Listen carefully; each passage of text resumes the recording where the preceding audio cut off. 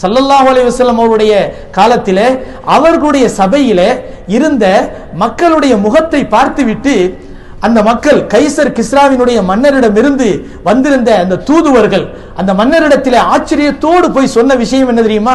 இது என்ன ஆச்சரியமாக இருக்கிறது? அந்த மனிதருடைய சபையில எல்லோரும் இருக்கிறார்கள். எப்படிப்பட்டவர்கள் என்றால் அரபுகள் மட்டும் இல்லை இருக்கிறார்கள் ரோமர்களும் இருக்கிறார்கள் பாரசீகர்களும் இருக்கிறார்கள் சல்மானுல் ஃபாரிசி இருந்தார்கள் சுஹைப் ரூமி ரலியல்லானு இருந்தார்கள். பிலால் ஹபஷி ரலியலானு இருந்தார்கள். இப்படி பலதரப்பட்ட நாடுகளில் இருந்து வந்தவர்கள் எல்லாம் அந்த சபையிலே ஒற்றுமையோடு தோளோடு தோல் நெருக்கமாக அமர்ந்திருப்பதை நாங்கள் பார்த்தோம். இது நம்முடைய ஊர்ல அது சாத்தியமே கிடையாது. நம்மளால் அதை நினைச்சு கூட பார்க்க முடியாது என்று சொன்னார்கள். கண்ணியமானவர்களே சல்லல்லாஹ் அலைஹி அவர்கள் உருவாக்கிய ஒற்றுமை என்ற இணைப்பு இருக்கிறதே கட்டமைப்பு எப்படிப்பட்டது தெரியுமா? சல்லல்லாஹு அலி வசல்லம் அவர்கள் ஒவ்வொருவரையும் தலைவராக ஆக்கி ஒரு பத்து பேர் பதினஞ்சு பேர் ஒரு இருபது பேர் கொண்ட ஒரு குழுவை உருவாக்கி மதினாவை சுற்றிலும் குழி தோண்டுவதற்காக வேண்டி உள்ள அந்த கந்த யுத்தத்திற்கான ஏற்பாடுகளை நபி அவர்கள் செய்கிறார்கள். அப்பொழுது நபி சொல்லா அலிஸ்லாம் அவர்கள் மிகப்பெரிய ஒரு இரு கூறுகளாக இருந்த முஹாஜிர்களை ஒரு பக்கமும் அன்சாரிகளை இன்னொரு பக்கமும் பிரிக்கிறார்கள். பிரித்த போது ஸல்லல்லாஹு அலிஸ்லாம் அவர்கள் யாரெல்லாம் முஹாஜிர்களோ ஒரு பக்கம் வாங்க அன்சாரிகள் யாரெல்லாம் இருக்கிறீங்களோ அவங்கெல்லாம் ஒரு பக்கம் வாங்க அப்படின்னாங்க. எல்லாரும் தனியா பிரிஞ்சாச்சு. ஆனா நடுவுல சில பேர் மட்டும் நிக்கிறாங்க. சல்மானுல் ஃபாரிசி ரலியலானவர்கள் மாதிரி சில ஆட்க வெளியூர்ல இருந்து வந்தவங்க மட்டும் நிக்கிறாங்க. சல்லல்லாஹ் அலி வசல்லாம் அவர்கள் இப்படி பார்க்கறாங்க அப்போ முஹாஜிர்கள் சொன்னாங்க யார சூழல்லாம் சல்மானுல் ஃபாரிசி எங்களை சார்ந்தவர். எப்படி? ஒற்றுமையை பாருங்க. சல்மானுல் ஃபாரிசி எங்களை சார்ந்தவர். ஏன் தெரியுமா? அவர் வெளியூர்ல இருந்து நாங்க எப்படி இந்த ஊருக்கு நாங்க முஹாஜிர்களா வந்தோமோ அதே போல இவரும் வெளியூர்ல இருந்து வந்தவர் தான். அதனால முஹாஜிர் தான். அதனால எங்களுடைய கு- அந்த குழுவுல நீங்க இவரை சேர்த்து விடுங்க. அப்படின்னு போட்டி போட்டாங்க. அரபுகள்கிட்ட இந்த பழக்கம் இருக்கிறது பெரிய விஷயம். சாதாரண விஷயம் இல்ல. உலகத்துல ரெண்டு கூடா பிரிக்கிறாங்க அரபுகள். ஒன்னு அரபு இனம் இன்னொன்று அஜமி இனம்.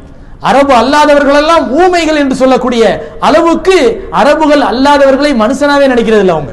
அப்படிப்பட்ட ஒரு நிலையில இருக்கக்கூடிய உயர்ந்த அந்தஸ்துக்குரியவர்கள் என்று தங்களை நினைத்துக் கொள்ளக்கூடிய அந்த மக்கள் தங்களுடைய ஊரை சாராத தங்களுடைய குடும்பம் சாராத தங்களுடைய மொழி சாராத தங்கள் இனம் சாராத ஒரு மனிதரை எங்க இனத்தை சார்ந்தவர் என்று போட்டி போடுகிறார்கள். அன்சாரிகள் சொன்னாங்க என்ன உங்க ஊர்ல இருந்த ஹிஜ்ரத் பண்ணி வந்தாங்க அவங்க?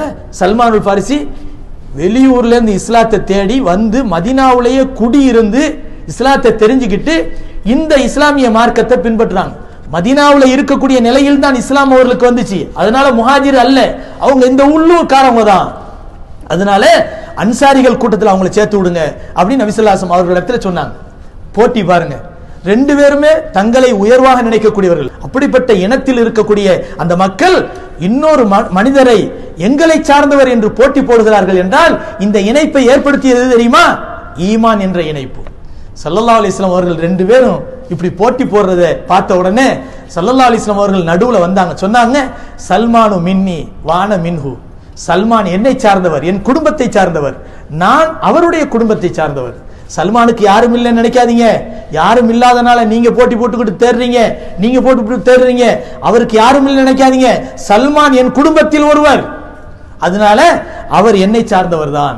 அவரை யாரும் விட்டு கொடுக்க முடியாது என்று சல்லல்லா அலிஸ்லாம் அவர்கள் சொல்லி நபி அவர்களுடைய குடும்பத்தில் ஒருவராக இணைக்கிறார்கள் என்றால் இத்தகைய ஒற்றுமை உணர்வை உருவாக்கியதுதான் நபி அவர்களுடைய அற்புதமான சேவை.